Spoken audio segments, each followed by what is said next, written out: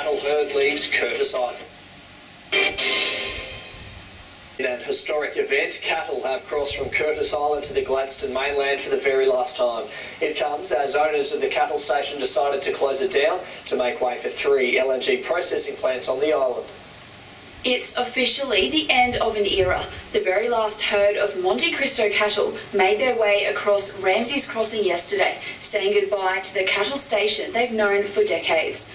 One stubborn bull just didn't want to leave. Keen onlookers watched on as six horsemen and over 200 head made the historic trip. They knew exactly what they were doing. The dogs knew just as much as what the men do. I've been, been coming here to the Narrows for a long time, and um, I've seen cattle come across here before, but uh, this is a you'll never see it again. This is the last time you'll see cattle come across. Yeah, bit of excitement for the day. The cattle swam several hundred metres off the island to the mainland under the watchful eye of property manager George Wilson. It was also the end of an era for him, having worked at the cattle station for 42 years.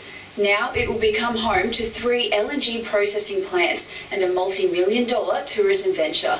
As for the cattle, they arrived safe and sound at the Narrows, trotting off to their new home. Alexandra Cullen, WIN News.